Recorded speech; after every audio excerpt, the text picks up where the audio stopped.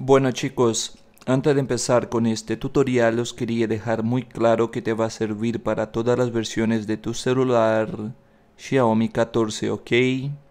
Dicho esto chavales, empecemos. Para poder escanear un código QR aquí en tu, en tu Xiaomi, ¿vale? Primero, pasaremos el dedo en la parte derecha de la pantalla y aquí ahora buscaremos la opción esta, este icono, ¿vale? Si no lo encuentras aquí no pasa nada, yo os explicaré cómo activarlo. Aquí entonces le daremos aceptar, ¿vale? Eh, le damos permitir mientras se usa la aplicación. Y aquí dentro de este cuadradito, mira de la pantalla, donde está subiendo y bajando esto, es donde tienes que poner el código QR que vas a escanear, lo tienes que poner ahí dentro para que se escanee, ¿vale? Te saldrá una, opción en la pantalla, le picas y te llevará hasta la página web, la aplicación o lo que sea del código que has leído.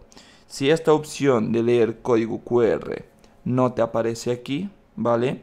Le das abajo en editar, la buscas por aquí, le das al botón verde en añadir, se va a añadir aquí, le damos aquí en la parte derecha de arriba en guardar y ya te aparecerá aquí las opciones, ¿vale?